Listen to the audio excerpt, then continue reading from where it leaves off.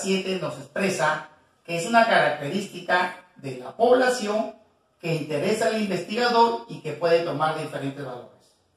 Cuando se va a investigar cierta característica de la población, toma un nombre muy particular. ¿Cómo se llama ahí? Se llama variable estadística. Por lo tanto, la alternativa aquí sería la respuesta o alternativa A. En la pregunta número 9, es cuando el investigador no solo busca un nivel de clasificación, sino también busca ordenar sus casos en términos del grado que poseen una determinada característica. Pero además, por lo general, existe una jerarquía. Me habla de orden, y es más, me habla de una jerarquía, por lo tanto, ¿cuál de estas alternativas cumple esas condiciones? La alternativa correcta debería ser la alternativa D.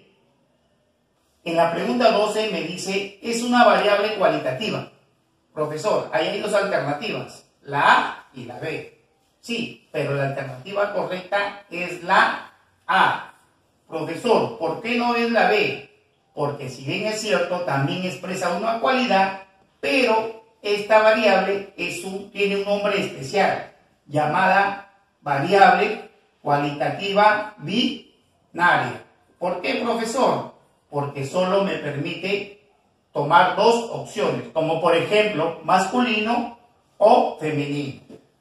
Sí o no, verdadero o falso. Entonces, cuando yo me encuentre con ese tipo de variables, la voy a clasificar como una variable binaria.